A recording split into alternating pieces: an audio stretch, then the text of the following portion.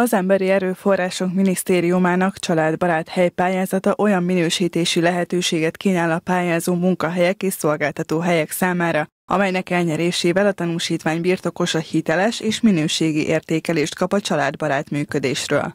A minisztérium februárban döntött arról, hogy a családbarát munkahely bronz fokozatával díjazza a Nyíregyházi törvényszéket.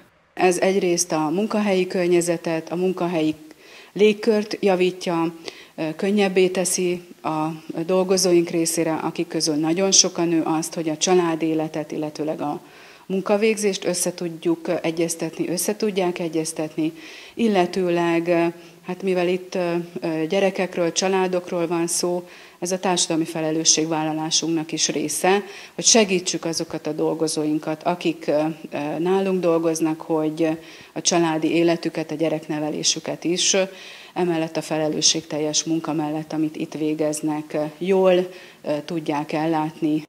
A sikeres pályázat feltétele volt, hogy a törvényszék tényleges intézkedésekkel támogassa dolgozóit és ügyfeleit, elősegítve ezzel a munka és a magánélet közötti harmónia megteremtését. Segítjük a gyesről, gyedről visszatérő dolgozóinknak a munkába való visszailleszkedését, vagy akinek négy év alatti gyermeke van és igényli, akkor biztosítunk részére részmunkaidőt, hiszen ez nagyon sok segítséget jelenthet, akár édesanyának, akár édesapának vagy alternatív munkarendet vezettünk be, tehát többfajta munkaidő kezdéssel és munkaidő befejezéssel lehetséges dolgozni.